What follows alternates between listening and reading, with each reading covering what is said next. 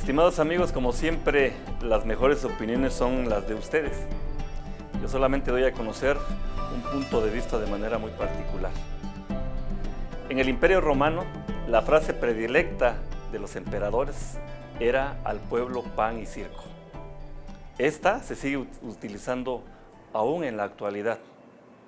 Y es que en esa época, para mantener al pueblo ocupado y entretenido, los emperadores votaban al escenario del Coliseo a una fiera salvaje, a un león y a un cristiano. La fiera salvaje devoraba, despedazaba a ese cristiano ante la algarabía, la euforia, los gritos, los aplausos, las vivas de todo el pueblo. Eso era para mantenerlos distraídos. Y eso se compara con Oaxaca. Aunque en Oaxaca esta frase ha sido recortada a la mitad. Al pueblo, puro circo. Y le voy a decir por qué. Hace algunos días se inauguró un estadio de fútbol, el del tecnológico, y se inauguró aún no estando acabado este inmueble. Fueron miles de personas a ver a los Pumas universitarios contra los alebrijes oaxaqueños. Hubo muchas vivas, hubo gritos de gol, y este estadio fue construido con dinero que bien pudo haber sido utilizado, no sé, para medicamentos o para combatir la extrema pobreza que tanto lacera a Oaxaca. Hay muchas irregularidades en torno a la construcción de este estadio.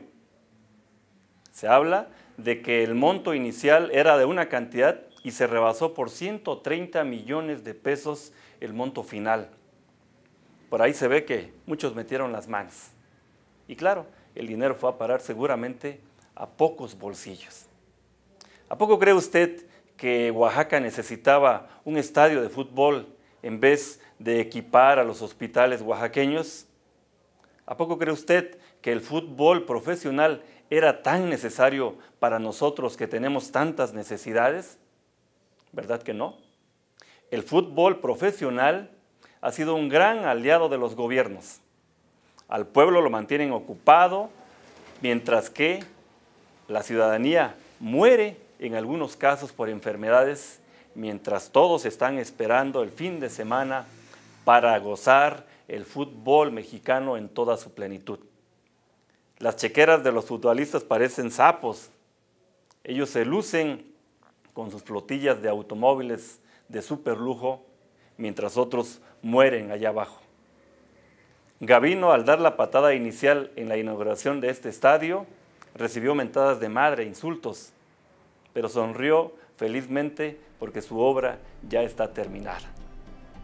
Miles acudieron a gritar gol, el gol de los oaxaqueños, y otros cientos están padeciendo la pobreza extrema. Lo dejo a su criterio y consideración. Yo soy Arturo Barrita y en Facebook me localiza como Arturo Barrita. Muchas gracias.